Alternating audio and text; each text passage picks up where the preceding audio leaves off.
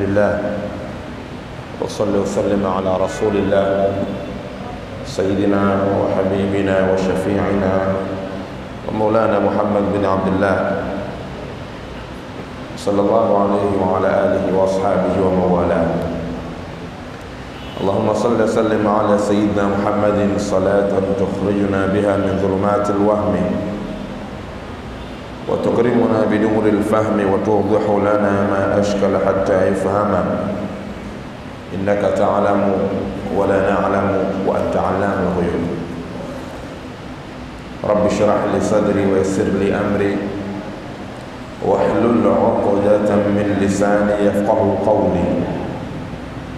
رب يسر ولا تعسر عوناك يا معين. ربنا لا تمنعنا عن العلم بمانع. ولا تقطعنا عنه بقاطع أما بعد أما baada ya kumshukuru Mwenyezi Mungu Subhanahu wa Ta'ala na kumtakia ziada rahma Bwana Mtume Muhammad sallallahu alaihi wasallam, kama ilivyo ada, tukiwa tumekutana kwa mara nyingine tena katika kipindi chetu hiki cha dini ni tabia. Lengo ni kuyapitia, kukumbushana na kujifunza katika yale ambayo wametufundisha ama wametuandikia wanawachuoni kwa lengo la kuzijua na kuzifanya vyema ibada za Mwenyezi Mungu Subhanahu wa Ta'ala. Lakini kabla hatujaanza huko, ada yetu ni kuwakumbuka waliotangulia mbele za haki, wazee wetu, mashehe zetu ambao kwa namna moja ama nyingine wao hasa ndiyo sababu na sisi kuwa hapa tulipo. Tutangulize ikhlasi zetu tatu. Kuwaombea Mungu huko aliko Mwenyezi Mungu awarahamu na wafungulie rehema zake katika makaburi yao, afanye makaburi yao kuwa ni bustani za peponi na wala yasiwe ni mashimo ya motoni. Bismillahi rahmani rahim Qul huwa Allahu ahad Allahu samad lam yalid walam yulad walam yakul lahu kufuwan ahad Bismillahi rahmani rahim Qul huwa Allahu ahad Allahu samad lam yalid walam yulad walam yakul lahu kufuwan ahad Bismillahi rahmani rahim Qul huwa Allahu ahad Allahu samad lam yalid walam yulad walam yakul lahu kufuwan ahad Tunamwomba Mwenyezi Mungu thawabu za ikhlasi hizi awapelekee wazee wetu na mashehe zetu na ndugu zetu katika imani, ayafanye makaburi yao kuwa ni bustani za peponi na wala asiyafanye makaburi yao kuwa ni mashimo ya motoni. Atujalie nasi pia kuwa na husnul khatima. Katika darsa ya mwisho tulikuwa tumefunga ama tumemaliza kuzisoma nguzo kumi na saba za swala, arkanu sala, nguzo kumi na saba za swala ambazo mwanzo wake ni nia na mwisho wake ni ataratibu, mpangilio. Mwenyezi Mungu atuwafikishe yale ambayo tumeyapitia yaingie sehemu ya utendaji wetu wa kila siku pale tunaposimama kwa ajili ya kumwabudu Allah subhanahu wa ta'ala. Na leo Mungu akipenda, itakuwa ni kipindi chetu cha mwisho kwa kipindi hiki kuelekea mwezi mtukufu Ramadhani, kama ambavyo tulielezea katika darsa iliyopita. Kwa mujibu wa muda huu wa baada ya maghribi, tunapoingia katika mwezi Ramadhani huwa sio tena ni muda wa darasa, bali ni muda ambao watu hukusanyika kwa ajili ya kufanya iftar baada ya kuwa mchana kutwa walishinda hali ya kuwa ni saimin. Kwa hiyo tukiingia katika Ramadhani, maana yake hatutoweza kuwa na darsa ndani ya muda huu bali zitakuwepo darsa za vipindi vya mchana ikiwemo tafsiru lqurani lkarim, tafsiri ya Qurani tukufu. ambayo kwetu hapa huwa kila siku baada salati al-asri isipokuwa Jumapili ndani ya mwezi mtukufu Ramadhani. Kwa hiyo kipindi hiki chetu cha kila Jumatatu baada salati al-maghribi,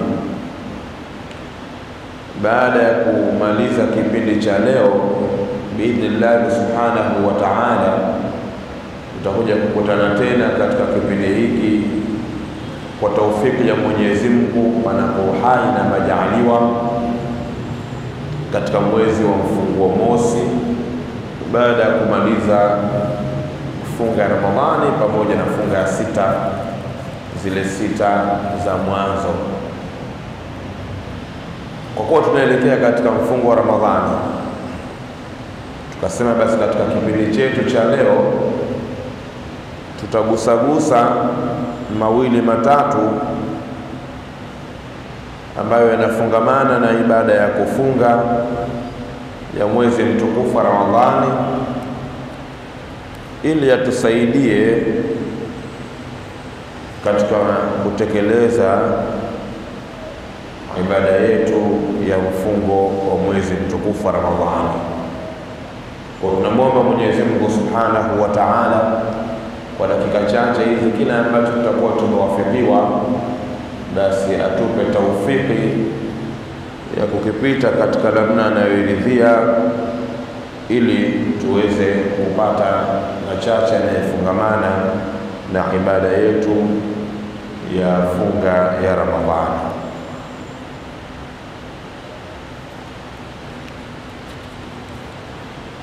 Saumu Ramadhani, kufunga mwezi mtukufu Ramadhani ni nguzo ya nne katika nguzo tano za Uislamu. Mtume Muhammad sallallahu alaihi wasallam katika hadithi namba mbili katika kitabu cha Arbain an-Nawawi anasimulia mmoja katika masahaba wakubwa. Bainama nahnu julusun inda rasulillah sallallahu alayhi wasallam ittala alayna rajulun shadidu bayadhi thiyabi shadidu sawadi sha'ri la yura alayhi atharu safar wala ya'rifuhu minna ahadun anasema katika hadithi hii bainama nahnu julusun inda rasulillah pale ambapo tulikuwa sisi ni wenye kuketi mbele ya Mtume Muhammad sallallahu alaihi wasallam, tukizungumza mawili matatu kuhusiana na maisha, kuhusiana na dini ya Mwenyezi Mungu. Ittala alaina rajulun, ghafla alituchomozea mtu, ghafla alituchomozea mtu. itala alaina rajul, huyo aliyetuchomozea shadidu bayadhi thiyabi ni mweupe mno wa mavazi. Maanake alitokea mtu aliyekuja kuingia katika majlisi yetu tuliokaa na Mtume Muhammad sallallahu alaihi wasallam, lakini personality yake alikuwa ni mtu ambaye amevaa mavazi meupe sana yanayong'ara, lakini pia shadidu sawadi shari, alikuwa ni mweusi mno wa nywele zake la yura alayhi atharu safar, hapaonekani juu yake athari yoyote ya safari ndefu. Wala yaarifuhu minna ahadu, na wala hamjui yeye mtu yoyote katika sisi. Manake ni mtu ambaye mgeni machoni mwetu, amekuja katika baraza yetu, lakini pamoja na ugeni ambao tunamuona nao hakuna anayemtambua yoyote kati yetu, pia haonekani kama anatoka mbali. Ndio ile la yura alayhi atharu safar, yani haonekani na athari, dalili kwamba anatoka mbali. Zamani ilikuwa maeneo ni yamejikusanya, hata huku ilikuwa ukisikia Kariakoo ni watu ambao wanajuana kwamba Kariakoo yote labda imezungukwa na nyumba kumi kumi na tano na nyumba zenyewe moja hapa, moja iko kule Uhuru, nyingine iko kule Lumumba, nyingine iko Jangwani, mbali mbali.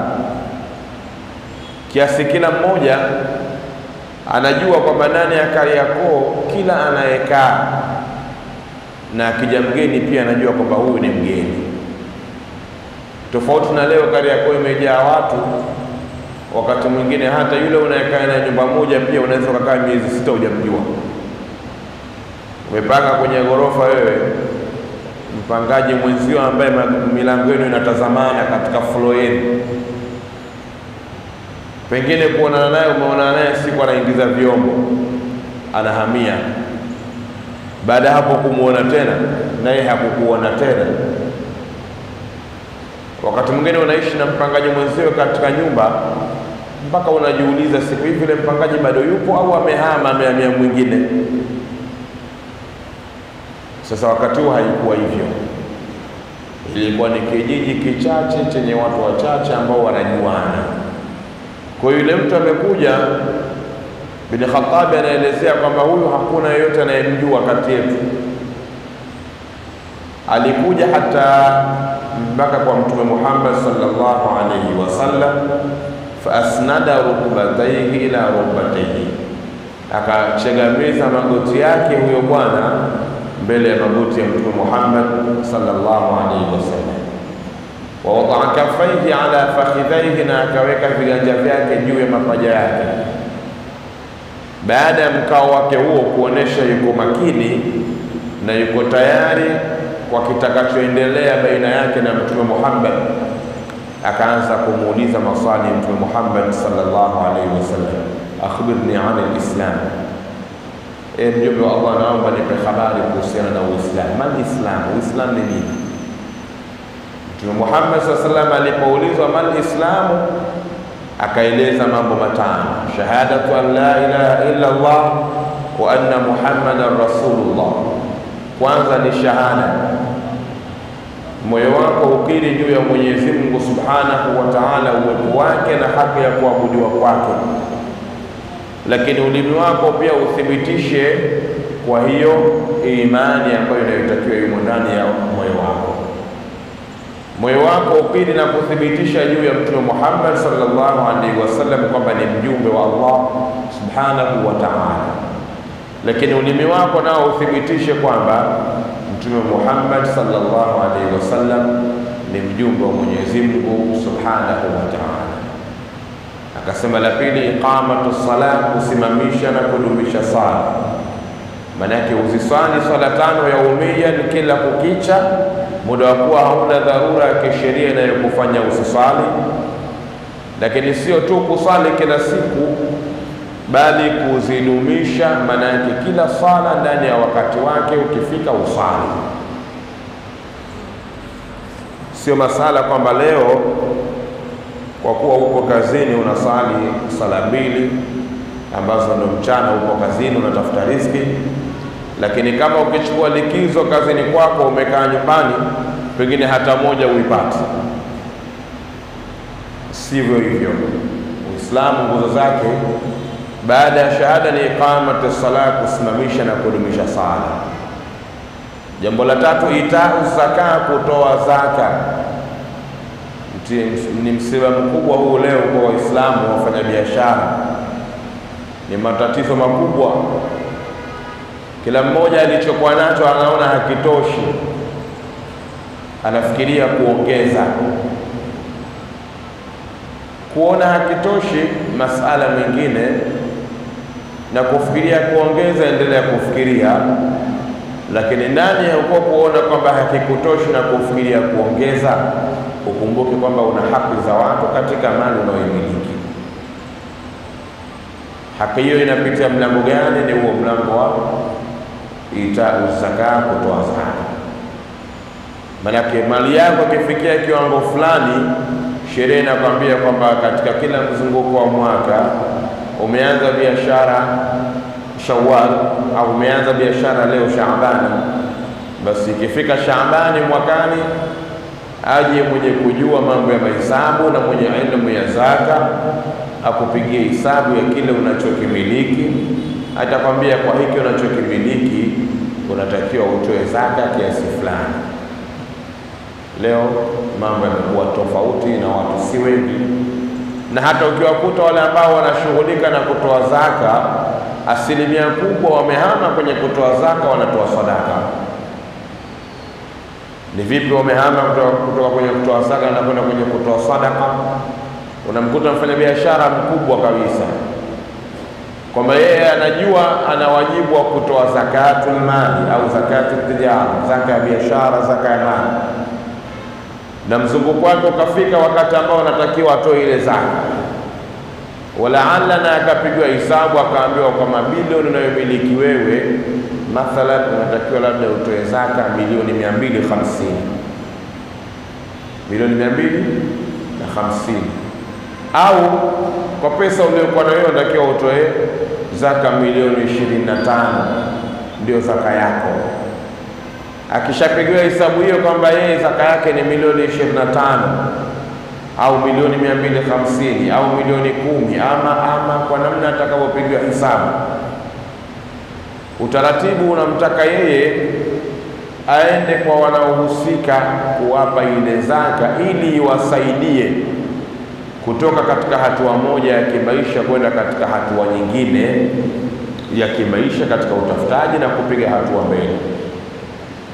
Lakini leo ukiwakuta hao wenye kutoa zaka na wakajua mafungu yao ya kutoa zaka, basi mtu ameshajua kwamba anatakiwa atoe milioni ishirini na tano za zaka. Anachokifanya yeye atazichenji zile elfu tano tano zote. Baada ya hapo, anakaa mlangoni kwake getini kila anayepita au waliokaa fuleni anaomba elfu kumi au elfu tano tano. Au akapita katika msikiti, kwa kuwa ni mwezi wa Ramadhani, mwezi wa toba, pengine ndio mzunguko wake umeingia hapo, akaenda akawakuta watu wanasali qiyamul laili, akawapa bahasha laki moja moja au akawapa bahasha elfu hamsini hamsini au akawapa elfu ishirini ishirini. Lakini maalasafishanini kuna wengine wakajua kwamba ikiingia Ramadhani ndio wakati wa kutoa zakatul mali au zakatul tijara, ilhali kumbe ni vitu viwili tofauti.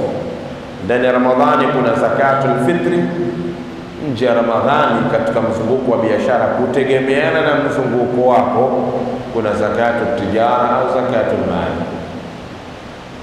Kwa hiyo leo utaona kwamba hata hao wenye wajibu wa kutoa hizo zaka hawatoi tena zile zaka zao, bali wanatoa sadaka, na wenyewe wakidhani kwamba ndivyo wanavyofanya sawa sawa. Jibril alayhi salatu wassalam, katika maneno aliyomuuliza Mtume Muhammad sallallahu alaihi wasallam kuhusiana na Uislamu, na Mtume anamjibu kwamba Uislamu ni shahada mbili. Uislamu ni kusimamisha na kudumisha sala, Uislamu ni kutoa zaka. Kwa wale ambao wana wajibu wa kutoa zaka, wawatafute wenye fani zao, wawaelekeze namna ya kutoa zaka, wasiibadilishe zaka ya biashara, zaka ya mali, kutoka katika mfumo wa kutoa zaka na kwenda katika mfumo wa kutoa sadaka. Mwingine akatoa hela kuwapa watu hela ya sikukuu, ilhali kumbe kwake ndo zaka hii.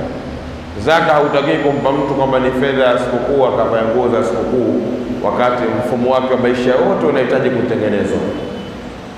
mepata milioni zako kumi, hii ndio zaka yangu. Mtafute mwenye kustahiki, kwamba huyu ninamuona hapa, ugumu wa maisha aliokuwa nao ni kwa sababu hana cha kujitegemea katika maisha yake. Kaa naye muulize nini anaweza kufanya, akipata mtaji gani anaweza kufanya biashara gani ya kuendesha maisha yake. Akakwambia kwamba mimi nikipata milioni tano naweza nikafungua banda la Tilopesa, mwezeshe. Tena mtafutie hata namna wakati mwingine ya kumwekea uh, limit au usimamizi, ili umchunge chunge naye asije akachezea. Kuna mtu mmoja huko miaka ya nyuma, ilikuwa utoaji wake wa zaka, yeye ilikuwa ni hivyo kwamba akishajua fungu lake la kutoa zaka ni milioni kumi, huangalia kwa watu wanaowafahamu wanaomzunguka, ni yupi anafaa kupewa zaka, maisha yake ni ya chini kabisa, humtafuta akakaa naye akazungumza naye, ugumu wa maisha unaopitia, changamoto ni nini? Changamoto kwa sababu sina biashara, sina chochote. Sawa, uko tayari kufanya biashara? Ni biashara gani unahisi kwamba utakuwa huru kuifanya? Akimweleza akafikia namna kwamba wakubaliana, alikuwa akimfungulia mtu biashara tena hayo. Maanake kama hayo hujazingatia ukafunga, ina maana saumu yako haitosihi. Kusihi maanake ni kukubaliwa ama kufaa kisheria kwa mujibu wa vigezo na kanuni ambavyo vimewekwa katika jambo husika. Kwa la kwanza ni Islamu, ni Uislamu wa mtu. Ukiwa wewe ni Muislamu, hiyo ni sharti ya kwanza inayokutaka wewe ufunge, maanake ukifunga saumu yako inakubalika. Lakini la pili, aqlu, ni kuwa na akili timamu. Ukiwa na akili timamu, maanake wewe kufunga kwako kuna siri, ukifunga saumu yako inakubaliwa. Na jambo la tatu, naqau min nahwi haidhin. Kwa mwanamke ni kutakasika kutokana na hedhi, manake awe hana hedhi na asiwe na nifasi, sawa? Na mfano wa hayo, wilada na mengineyo. Na jambo la nne, wa ilmun bikauni lwakti qabilan lisawmi, na kujua kwamba huu ndio wakati wa kufunga, manake ajue kwamba hii Ramadhani ishaingia.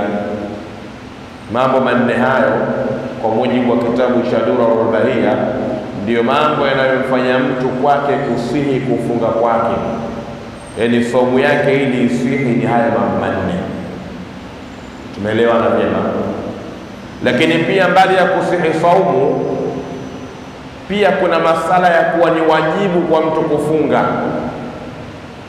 Kuna sharti za wajibu wa mtu kufunga. Kusihi kufunga ni kitu kingine na wajibu wa kufunga ni kitu tofauti.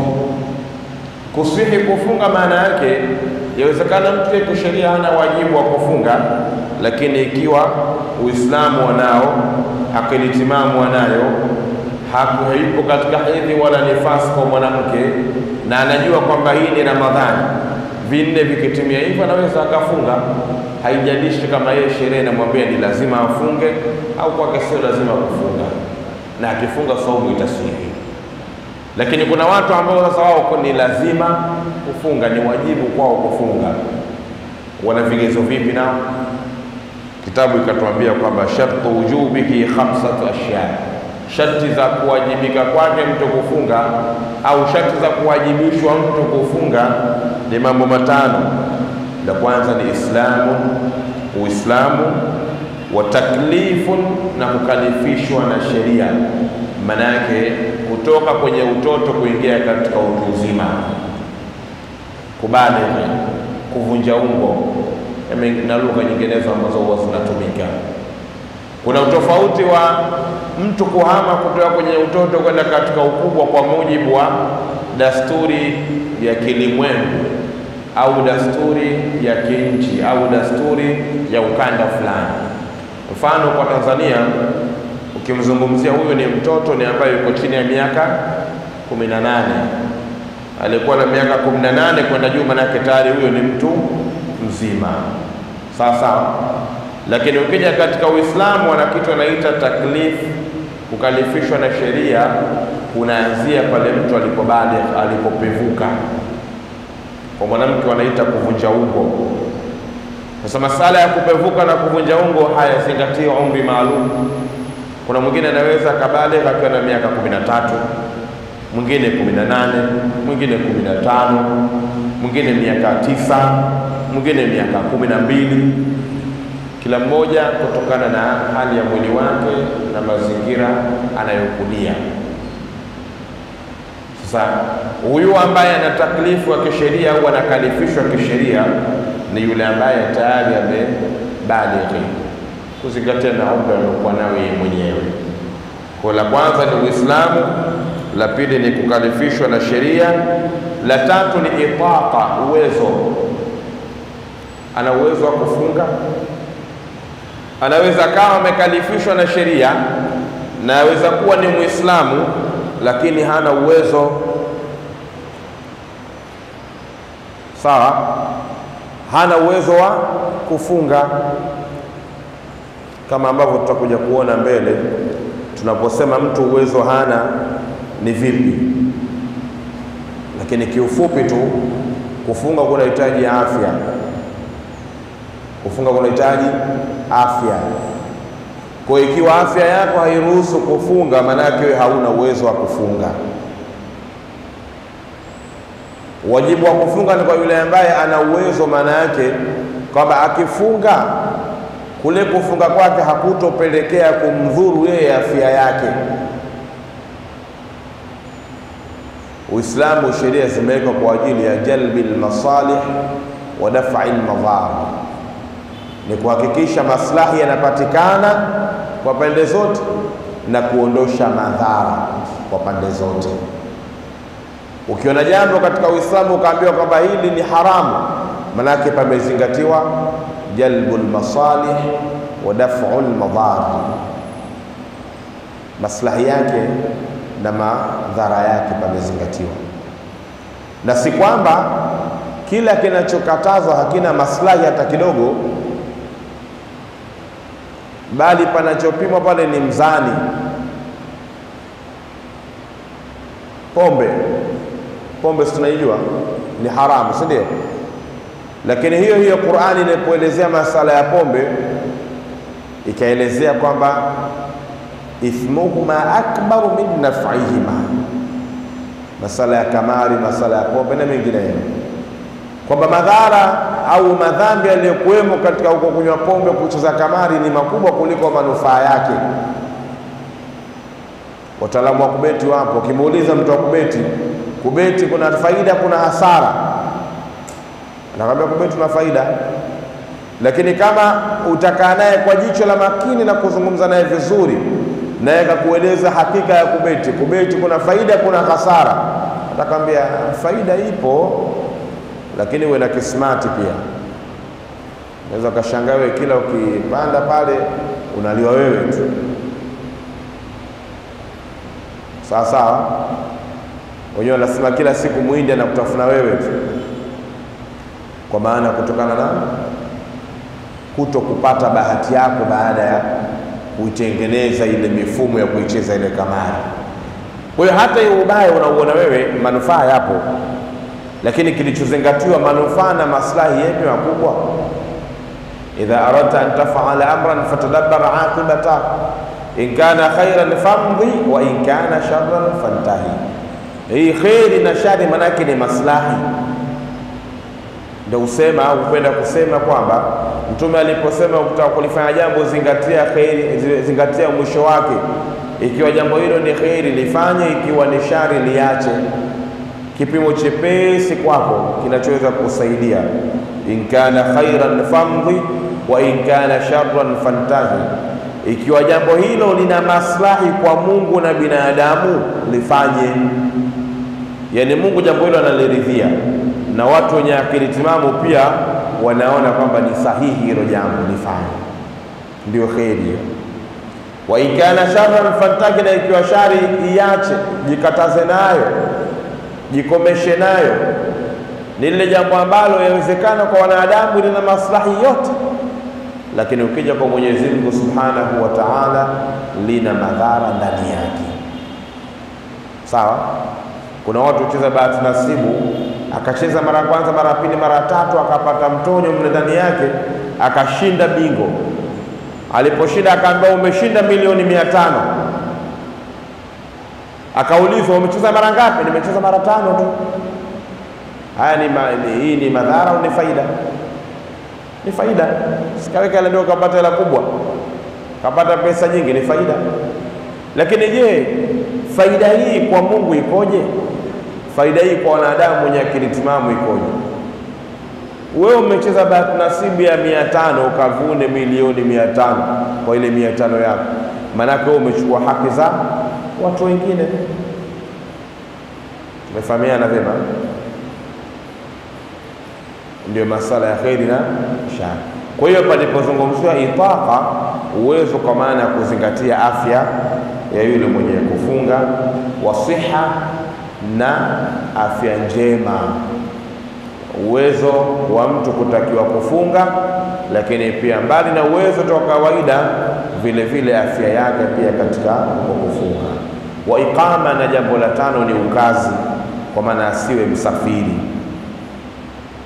Haya mambo matano yakikutana pamoja, basi huyo mwenye kukutwa na mambo haya matano ni lazima kwake kufunga sawa sawa. Iqama, mkazi ambaye sio msafiri. Sheria ya fiqhi inapomzungumzia msafiri, msafiri ana kipimo cha masiku. Hili lipo katika masala ya kupunguza swala, lipo katika masala ya kukusanya sala, lipo katika masala ya kufunga. Sawa.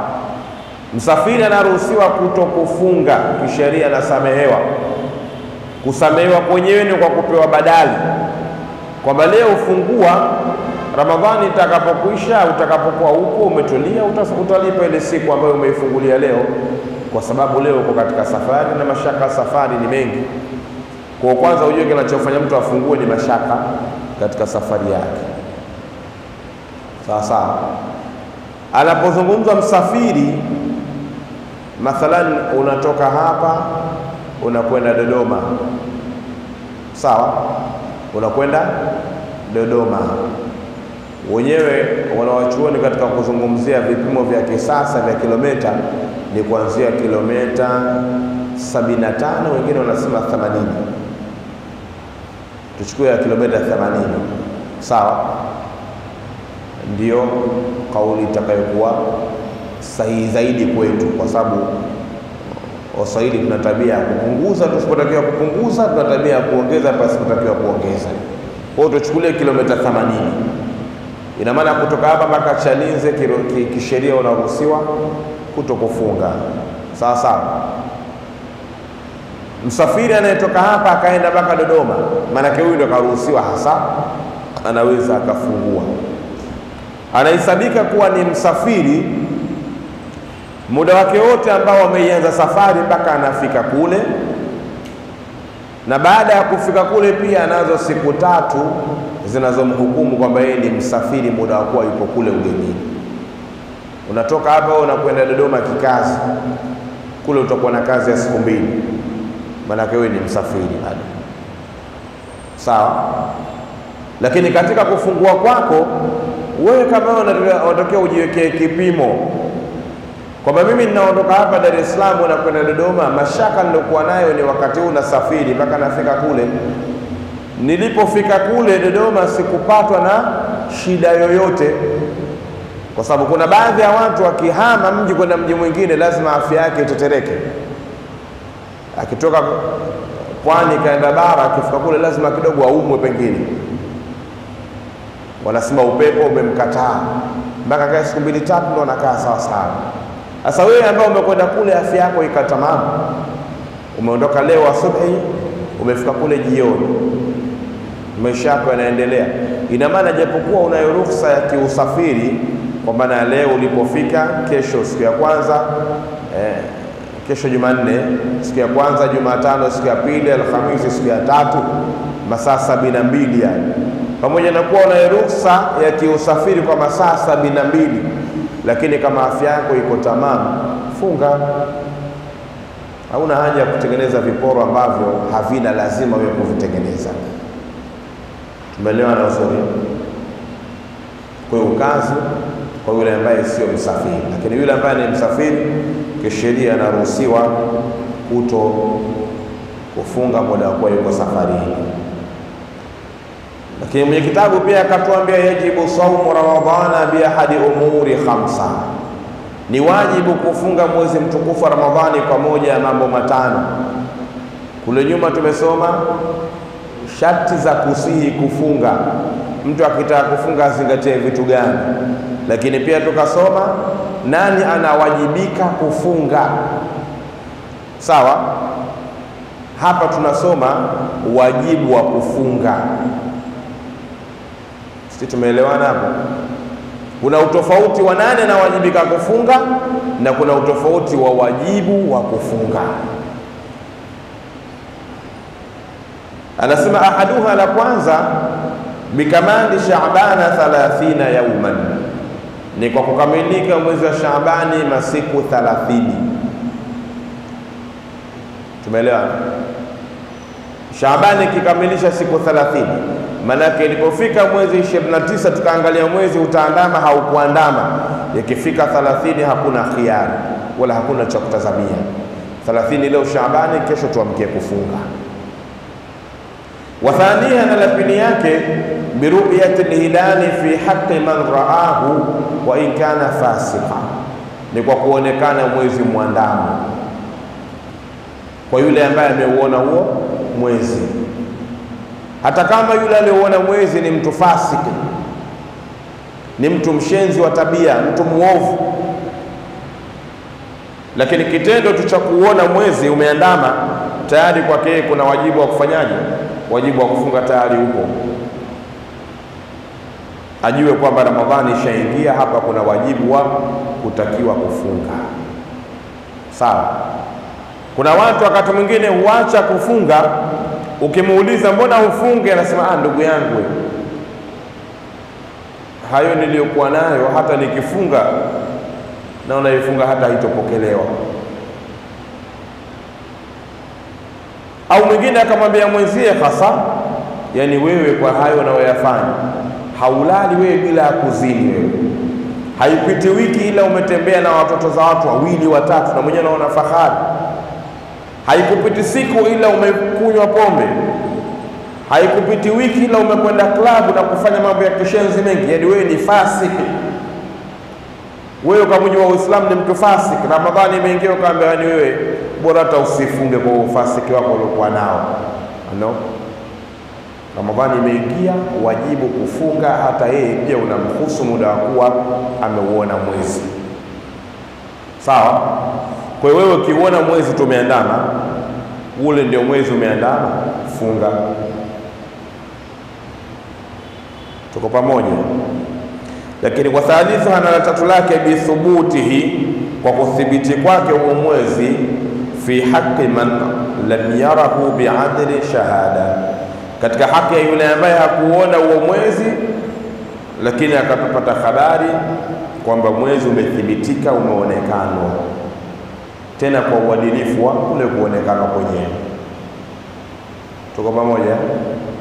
Warabiuha, na jambo la nne, biikhbari adili, ni kwa maelezo ya mtu mwadilifu, sawa. Riwaya, maelezo yake ambayo mauthuqin bihi, mwenye kuaminiwa, sawaun waqaa fi lqalbi sidquhu, ni sawasawa ukweli wake uko ndani ya moyo, amla, au moyoni mwake sio mkweli au ghairi mauthuqin bihi, au sio mwenye kuaminiwa. In waqaa fil qalbi sidquhu, ikiwa ndani ya moyo wake umetoka ukweli. Tunamjua huyu mtu ni mwongo mwongo, lakini akatuletea viapo kutuambia kwamba mwezi umeonekana kweli na viapo. Wallahi wabillahi, nashika na msahafu akatuaminisha kwamba mwezi umefanyaje, umeonekana, japokuwa tunamjua mwongo mwongo, lakini hawezi kufikia daraja ya kula viapo kwamba na kushika msahafu. Tumeelewa na uzuri. Na jambo la tano akasema, bidhanni dukhuli ramadhana bilijtihadi, ni kwa kudhania kwamba imeingia Ramadhani, lakini kwa kufanya jitihada, fi man ishtabaha alayhi dhalika, kwa yule ambaye jambo hilo limemchanganya, kumemchanganya hivi, Ramadhani imeingia haijaingia, akaamua kufanya jitihada ya ziada. Kimazoea Ramadhani ikiingia huwa kuna mama fulani huwa hapiki asubuhi yeye. Ramadhani ikiingia huwa maeneo fulani hapafunguliwi katika ile migahawa, yaani akajiwekea jitihada zake ambazo anajiridhisha kwamba hizi huwa zikitokea hizi huwa Ramadhani imeingia. Basi akizifanya jitihada hizo na akathibitisha kwamba kwa jitihada hizi Ramadhani imeingia, basi na yeye ni wajibu kwake au ni wajibu wa kufunga umechomoza kwa pamoja. Lakini tukizungumza kufunga ni mambo mawili, la kwanza ni nia na la pili pia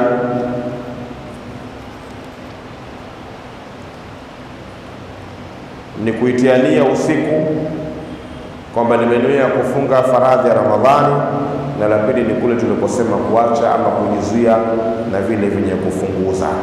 Hapa kwenye masala ya nia ni muhimu sana. Kuna watu husema kwamba haifai kunuia vile msikitini tukiwa baada ya sala kwamba nawaitu sauma ghadin an adai min yaumi fadhu shahri ramadhani hadhihi sana, kwamba kwa nini tunatamkishana?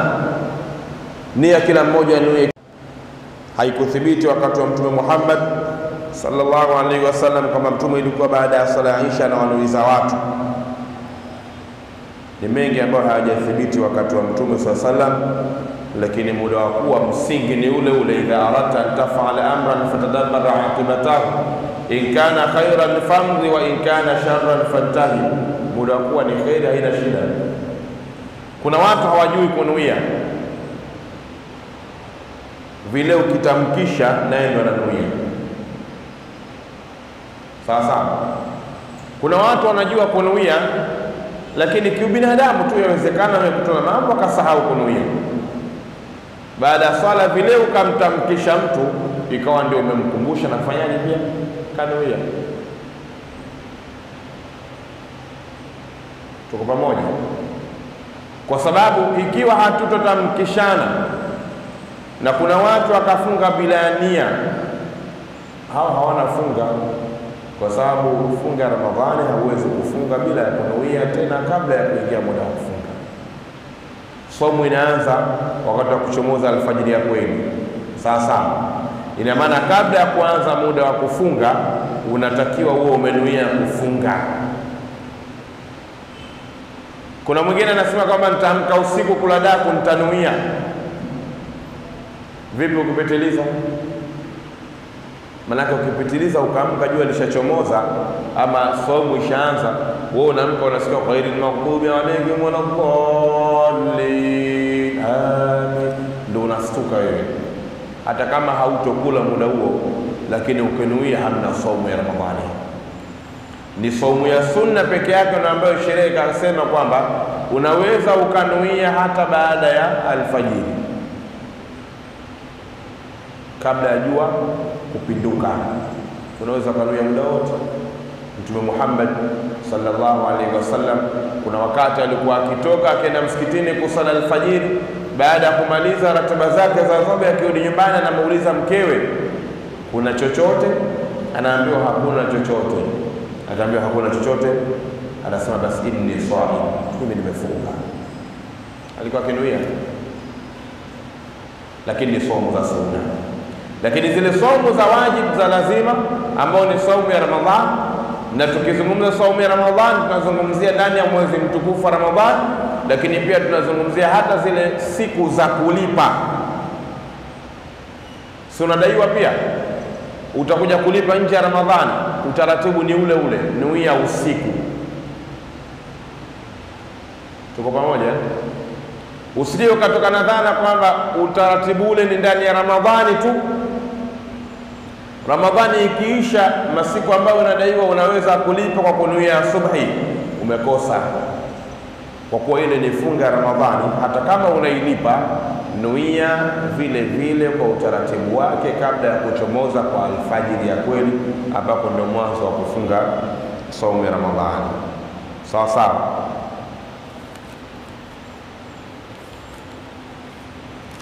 Tumalizie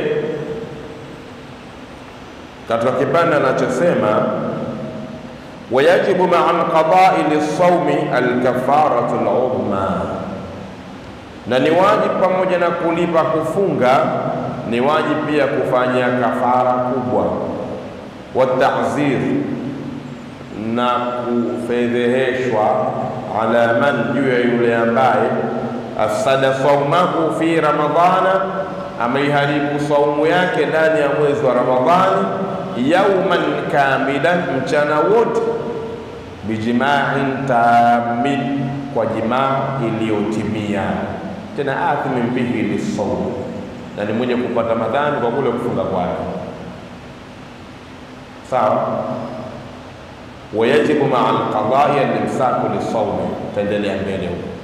Anachozungumzia hapa ni kwamba kuna mtu amefunga mwezi wa Ramadhani, mchana wa Ramadhani akaamua kufanya jimai, akakutana na mkewe kwa makusudi mchana wa Ramadhani, anapata madhambi kwanza, hata kama ni mkewe, lakini kule kufanya mapenzi na mkewe ndani ya mchana wa Ramadhani, kwanza anapata madhambi. na somo hiyo atakuja kuilipa pamoja na kafara kubwa Ramadhani itakapomalizika. Tuko pamoja? Na lazima tumfedheheshe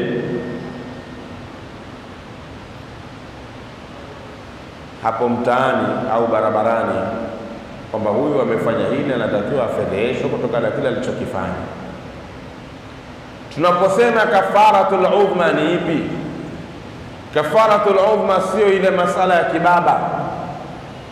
Kafaratul udhma yule aliyefanya tendo la jimai mchana wa Ramadhani ilhali amefunga kwa makusudi, baada ya kupata madhambi na somu yake kuharibika ama kuiharibu somu yake, atakuja kuilipa ile funga pamoja na kafara kubwa. Kafara kubwa ni moja ya vitu vitatu. Kitu cha kwanza itqu raqaba, ni kumwacha huru mtumwa. Ni kwa kipindi hiko cha watumwa wako, mtu kama anamiliki mtumwa alilifanya hili mchana wa Ramadhani, basi kafara yake amwache huru mtumwa, sawa sawa. Au fain lam yajid fasiyamu shahraini mutatabiain ikiwa hana mtumwa basi na afunge miezi miwili yenye kufuatana. Miezi miwili ni siku ngapi? Siku sitini. Sawa sawa. Kwa atafunga miezi miwili mfululizo, atafunga miezi miwili mfululizo. Akipata bakti ya kwa 29 29 ana wasala 30 kwa 30 ana wasala 30 kwa 29 ana wasala, lakini miezi miwili mfululizo atafunga kwa sababu ya jimaa mmoja aliyoifanya katika mchana mmoja wa Ramadhani. Ni mkewe, lakini ndo alokutana naye, hata kama ni mkewe, lakini hakutakiwa afanye mchana wa Ramadhani. Uhilla lakum lailata siyami arrafathu ila nisaikum hunna libasun lakum wa antum libasun lahun. Mwenyezi Mungu anasema ndani ya Qur'ani, uhilla lakum lailata siyami, mmehalalishiwa nini katika usiku wa mwezi Ramadhani, usiku wa funga. Maanake mchana mlipofunga, ulipoingia usiku, mmehalalishiwa. Ama usiku kabla kuingia katika ibada ya funga, ni halali kwenu? Kukutana na wake zenu, arrafathu ila nisaikum, maanake ni wake zenu. Hawa, wake kwa waume zao, kwa kuwa hunna libasun lakum wa antum libasun lahunna, nyinyi ndio vazi la kuwastiri wake zenu na wao pia ndio vazi la kuwastiri waume zao. Kwa hiyo usiku wa Ramadhani kufanya jimai ni kitu kinachofaa, ni halali, haina shida. Lakini Ramadhani ishaingia katika ule utaratibu wa kufunga Manake somu ishaanza, kufanya jimai ni haramu. Mtu mmoja akauliza, vipi pia kufanya mukaddimat? Mtume Muhammad sallallahu alaihi wasallam siku moja alijiwa na watu wawili tofauti kwa nyakati tofauti waliopishana vitamu. Kaja mtu wa kwanza alimuuliza, naweza kumbusu mke wangu ilhali nimefunga? Akamwambia hauwezi, akaondoka. Akaja mwingine baada ya muda kidogo, akamuuliza Rasulullah, naweza kumbusu mke wangu ili hali nimefunga? Akamwambia unaweza. Alipoondoka masahaba akamuuliza Mtume Muhammad sallallahu alaihi wasallam, mbona watu wawili waliokuja kuuliza swali moja, lakini umewajibu majibu mawili tofauti? Yule wa kwanza umemwambia hawezi, na huyu wa pili ukamwambia unaweza, lakini swali ni lile lile moja. Yule umezingatia kigezo gani na huyu umezingatia nini? Akasema yule wa kwanza ni kijana yule hatuishia kwenye kubusu. Maana tuko pamoja. Wa kwanza ni kijana, damu inachemka, damu iko moto, ile akibusu ataishia kwenye kubusu, atabusu na kubusu. Ndio maana kaambia yule haiwezekani. Lakini huyu pili mtu mzima, miaka sabini, huyu huyu kubusu kwake mpaka apate huo moto saa ngapi? Hana madhara ndio maana yule kawambia hauwezi, huyu nikamwambia unaweza. Kwa hiyo kuna baadhi ya watu hudhani kwamba kilichoharamishwa mchana wa Ramadhani ni au ndani ya muda wa kufunga kilichoharamishwa ni jimai peke yake. Watu wanadhani hivyo. Sasa aliwahi kunipigia mmoja, akaniuliza hilo swali, hivi inafaa imamu, inafaa mumeo, yani mume kumbusu mkewe wakiwa wamefunga, inafaa? Nikamuuliza, nani alofanya hivi au nani unayemuulizia hivi? Akasema mfano, sasa mfano mimi mwenyewe tu. Ngambia wewe kijana, haifai. Akasema kuna mtu nimemsikia inafaa tena, akasema sio kubusu tu, mpaka kwa maana ya kukisi pia inafaa. Inna lillahi wa inna ilaihi rajiun. Tumesema kufunga ni kujizuia na kula, kunywa na vyote vyenye kufunguza katika vyenye kutamanisha. Hivi ukianza kumbusu mkeo ukamkisi, kuna usalama hapo tena? Hakuna usalama, lazima somu itahama. Ndio pale husema hata na wale ndugu zetu ambao mara nyingi hudhani au huchukulia kwamba mwezi wa Shaabani ndio mwezi wa kuoa, yaani kiingia Shaabani ndoa mfululizo. Mashekhe wako bize kuozesha sasa hivi hatari, wengine huoa mpaka kesho ndio Ramadhani, mtu analazimisha aoe leo, kwamba shekhe alifanya mpango bwana, tuwahi bwana, mwezi usije ukaandama bwana udhani kwamba ndio sunna kubwa kuoa ndani ya mwezi wa Shaabani ili Ramadhani apate mtu akumpekea iftari. Wewe hmm. Unaweza ukaoa ndani ya shahbani na Ramadhani pia ukakosa na funga yenyewe vile vile. Wazee wazee wetu katika moja ya dasturi za walizoziweka huku kwetu, mtu anapooa baada ya hapo hupatwa muda anaambiwa akae ndani na mkewe, ndivyo sivyo? Saba fungati, si ndio? Si ndivyo au sivyo? Siku hizi mnaita kizungu honeymoon. Honeymoon siku hizi watu wanatoka kwenda nje Dubai, kama watu fedha wanazo, wakaenda wakastarehe, lakini asili wenyewe walipoziweka zile siku saba ilikuwa ni siku saba ambazo mume na mke wanashinda ndani, sawa wanapikiwa kwa maana wa kuletewa chakula au wanakuja mtu kushinda nao kwa maana ya kuwafanyia mahitaji yao muhimu pale, ndivyo sivyo? Miongoni mwa hekima za yale masiku, mume amjue mkewe, mke amjue mumewe, kwa sababu zilikuwa ndoa zile ni ndoa za kidini kweli, kwamba mume anataka kuoa, kijana anamwambia babake, mimi nataka kuoa. Baba anamwambia basi sawa, nimekuelewa anaangalia katika ule mtaa katika mitaa ile au kitongoji kile, ni binti gani hapa anafaa kuolewa na kijana wangu. Akaenda kwa yule mzee akamkosea kijana wake, pengine wakati wakaja kukutana wale wanandoa wawili siku ya ndoa, sawa. Wanapoingia ndani, inabidi wazoeane hao. Ah, basi kaeni saba ndani kwanza, make mkikaa wawili ndani, mwisho wa siku mtakaa kimya, mwisho wa siku mtaongeleshana tu, mwisho mtaanza kuzoeana tofauti na maisha ya leo. Mtu anakwambia nataka kuoa, na ukimwambia kuhusu habari ya mke ushapata wa kumwoa, sema ah, kila kitu tayari, nimekuja kwako, tufanye mpango, tupeleke barua na kila kitu.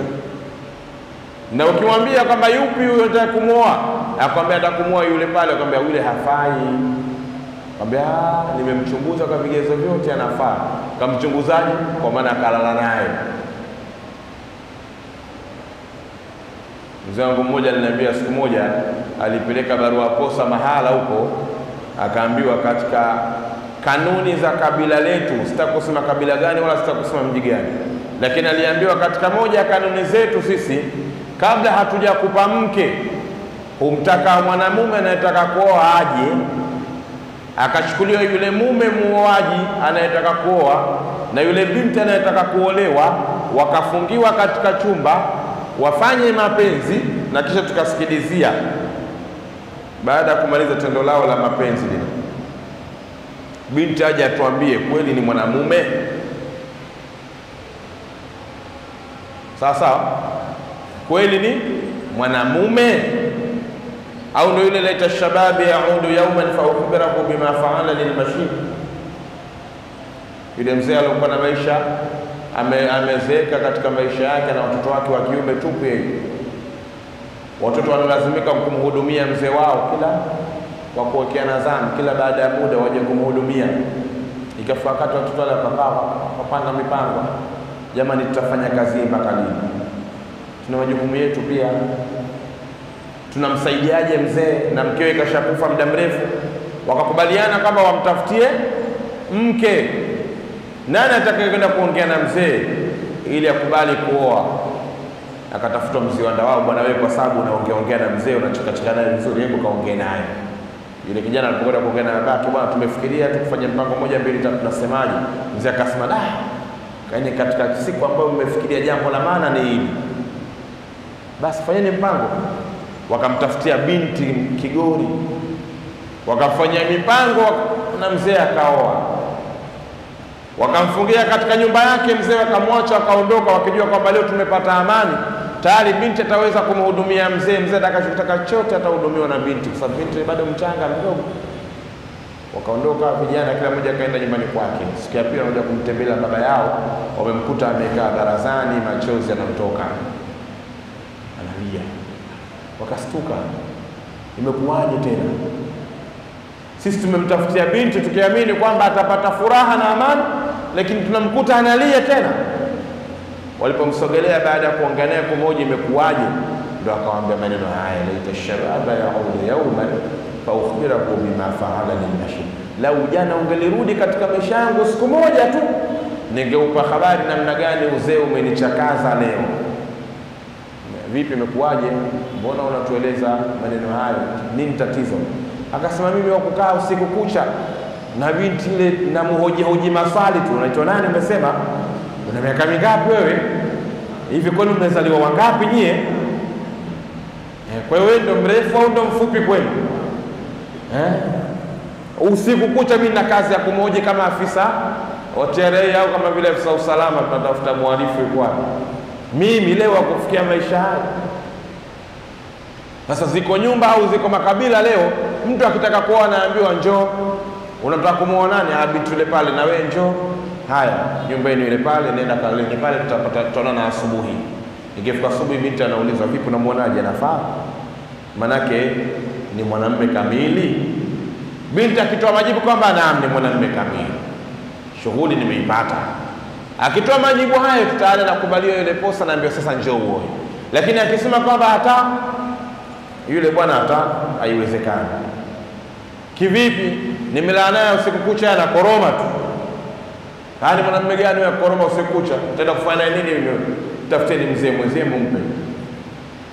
Ndoa imekufa hapo, hawa wamehalalisha zinaa, wamehalalisha zinaa. Mtume Muhammad alaihi wasallam katika moja ya hadithi, ikifanywa zinaa moja katika kijiji, wale watu wote manake wameihalalisha ile zinaa Si hapo tunapaelewana? Ikifanywa zina moja katika kijiji, maana watu wote wameifanyaje? Wameihalalisha ile zina, nao pia wamehusika. Nyumba unayokaa wewe, kuna kijana ameingia na binti anazini naye, na wewe unajua, na wewe pia umezini vile vile. Mpo mtaa unaokaa wewe, anaingia kijana kiasi kwamba anabadilisha wanawake, na huko katika mtaa ule ule, unamuona anasema ah, mashallah kijana huyu anakumbusha ujana wangu, huyu kijana huyu, na wewe pia umekwenda na maji eh. Ikiwa mwenye kusaidia kheri naye anapata ujira wa kheri, vipi anasaidia shari? Kwa nini asipate ma, na, na malipo naye ya shari? Kwa hiyo kukutana na mkeo au kukutana na mke na mume katika mchana wa Ramadhani kunasababisha kupata madhambi ndani yake na kunasababisha pia kutakiwa kulipa Ramadhani ile pamoja na kafara kubwa hiyo ambayo imesemwa. Akikosa kama hawezi kufunga miezi miwili mfululizo, ukiambia miezi miwili mfululizo, maana yake ni moja mpaka sitini. Sio unafunga leo, kesho, kesho kuta, baada ya wiki moja, acha leo nipumzike kidogo, ukiachia unaanza tena moja na hiyo ni kwa kila mchana mmoja ulioharibu ndani ya Ramadhani. Kama uliharibu michana mitatu, maanake sitini mara ngapi? Mara tatu. Kama uliharibu wiki nzima, manake wewe tuna hiyo hatari. Tumefahamiana vyema? Aliftaru fi Ramadhani arbaatu anwa, kufungua katika mwezi wa Ramadhani huko namna nne. Kuna kufungua ni wajibu katika mwezi wa Ramadhani kwa huyu kwa mwenye hedhi na mwenye nifasi. Kuna kufungua ni jaiz huyu ni kwa msafiri na mgonjwa, na kuna kufungua sio wajibu wala sio jaiz. Huyu ni mwenda wazimu, unafungua ni haramu. Wa muharamu ni kama akhara qadaa ramadhana maa tamakkunihi hatta dhaqa alwaqtu anhu. Kuna watu tuliwazungumza siku ya Ijumaa, Ijumaa ile iliyopita, kuna watu wana madeni ya Ramadhani na wakati mwingine hudhani kwamba kwa kuwa Ramadhani ya mwaka juzi ndo niliacha eh, Ramadhani mwaka jana ndio niliacha zile siku, Ramadhani hii inaingia, ikiingia Ramadhani mimi nimesamehewa lile deni. Utaratibu huo hakuna. Sheria inakwambia katika watu ambao hawatakiwi kula mchana, miongoni mwao ni huyu ambaye amechelewesha kulipa masiku anayodaiwa katika mwaka, katika Ramadhani iliyopita tunadaiwa siku tano ya Ramadhani iliyopita, si ndio? Leo Shaabani kumi na sita sawa sawa. Ikifika Shaabani ishirini na nne maanake tumebakisha siku za uhakika za mwezi wa Shaabani ngapi? Tano, sawa. Mwezi unaweza ukaandama ishirini na tisa au tukamaliza thelathini, si ndivyo? Kwa ikifika ishirini na nne tuna uhakika wa siku tano za kuwemo ndani ya Shaabani. Sheria inakwambia wewe hautakiwi kula mchana ndani ya siku tano hizo, yaani maana yake lipa madeni yako ndani ya hizo siku tano, kwa kuwa umechelewa kule kwenye khiari. Hapa ni lazima. Tumeelewana uzuri? Usipolipa Mungu utakutana naye katika namna ambayo utajua namna ya kujielezea wewe baada ya kuonana naye, kwa vile kwa kuacha yale malipo ambayo utakiwa kuyalipa. Tumalizie kipengele cha mwisho, anasema waqsamu liftari arbaa, na mafungo au vigawanyo vya kufungua ni vinne. Ma yalzamu fihi alqadau walfidya, kuna namna ambayo mtu akifungua anatakiwa aje alipe ile Ramadhani yeye pamoja na kutoa fidia, kama ambavyo tulielezea sana katika hutuba ile. Kuna mtu akifungua Ramadhani anatakiwa aje kulipa ile Ramadhani pamoja na kutoa fidia. Mfano huyo tuliomzungumza aliyokutana na mkewe mchana Ramadhani, sawa sawa, anatakiwa alipe pamoja na fidia au na kafara hiyo. Lakini fidia pia ni mfano, mfano yule ambaye amefungua katika mwezi wa Ramadhani kwa sababu ya mimba aliyokuwa nayo, lakini anachokiogopea ni usalama wa mtoto, au amefungua wakati ananyonyesha ndani ya Ramadhani, lakini anachokiogopea ni usalama wa mtoto. Huyo atalipa ile siku ambayo amezifungulia pamoja na kutoa fidia, sawa. Lakini la pili, ma yalzamu fihi alqadau duna alfidya, ni yule ambaye anatakiwa alipe lakini hana fidia hiyo, na hawa ndio wako wengi.